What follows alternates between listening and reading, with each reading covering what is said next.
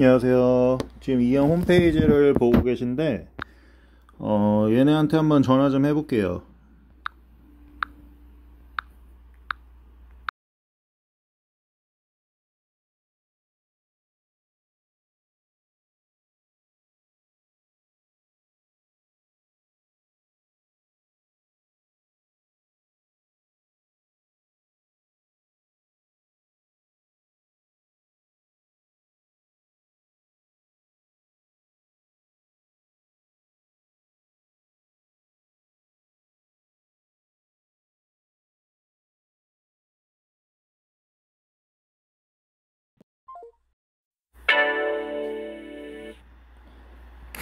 어허, 이상입니다.